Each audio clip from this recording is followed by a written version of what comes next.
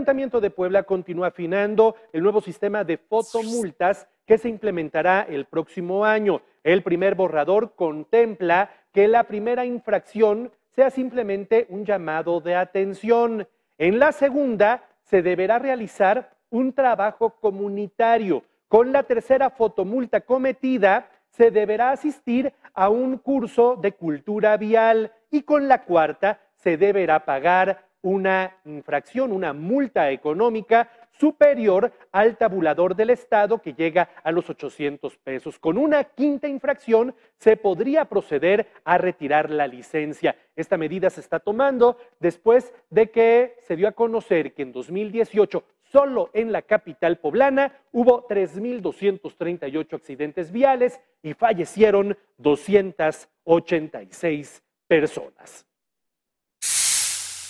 Porque si ya se te dieron una, dos, tres oportunidades, la sanción sí sería más alta y si no, las 36 o más horas eh, en, los separos. La cuestión de movilidad, la gente la entiende como que es para el automovilista y es para los autos, no.